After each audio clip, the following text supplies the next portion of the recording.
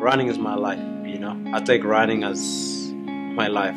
With no running, I'm done, you know. That's why when I go out there at the track, I don't play games.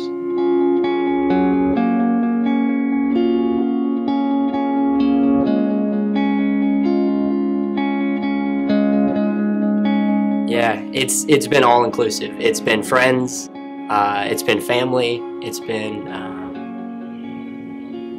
it's been a place to fit in for sure. Running's kind of been the only thing that I've known for a very long time. It's such a habit now. I'm very lucky to do what I do, and I absolutely love my job. I wouldn't change it for the world. Um, it's been amazing. It's, it's a dream come true to be able to do what I love every day. And, and I have two young kids, so they get to watch me now, and they're getting a little older, and they get it. Um, unfortunately, every time I come home from a race, they, they want to know if I won and brought them a medal. I mean, running is my world. It means the world to me. Um, you know, I've, I've learned so many valuable lessons about life and just about myself through running. You don't have a lot of time in this sport, and you just have to enjoy everything the ups and the downs. Yes, you're going to have bad workouts, you're going to have a bad race, but that's part of sport. Sports sports aren't nice sometimes. It doesn't have any emotions towards you, and it's just dealing with those emotions. And I think that's just part of what it is. That's part of the journey. It's such a privilege to be able to um, pursue your dream and your passion. To say that my career is going out and getting a run in is just so awesome. It's been this extension of family. So I now have my Gator family, I have my New Balance family, and that's what running has been for me throughout my life. It's just been a way for me to meet people who I love. This is my place. This is where I belong. I was cut from my JV basketball team. I was cut from my JV baseball team. You're too small and you're not strong enough. Well, one of those I can work on. It hurt getting cut from those teams, and um, the track team was open arms and welcoming. I've been to some amazing places and met some amazing people, and it's been everything for sure.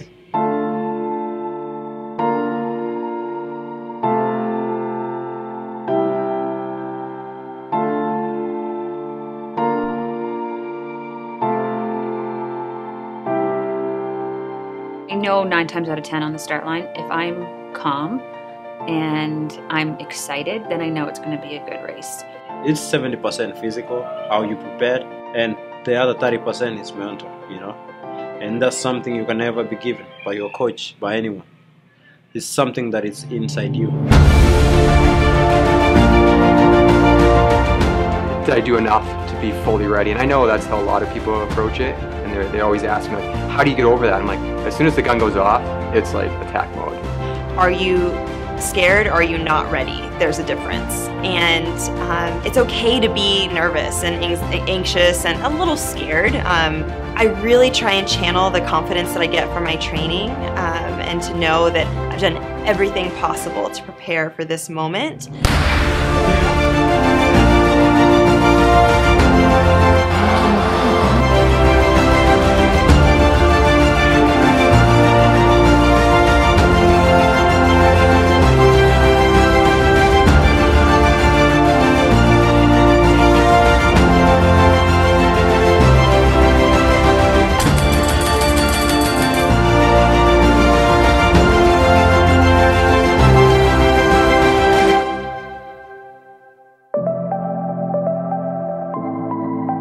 Winning a race is something you never take for granted, you know. It's something that makes me realize my dreams are coming true. It's a great feeling. It, it to know that you have come through with the win.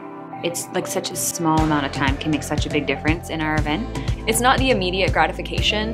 It's honestly just the fact that you've put so much work in and then you have this like something tangible to finally say like, okay, now it all pays off. You work so hard for these moments and you don't get them often. And winning's not everything but having your goals and always being able to walk away with um, with perspective. I think that's what keeps us in the sport. It's the feeling that you get when you cross the line that you're just like, this is what makes everything worth it.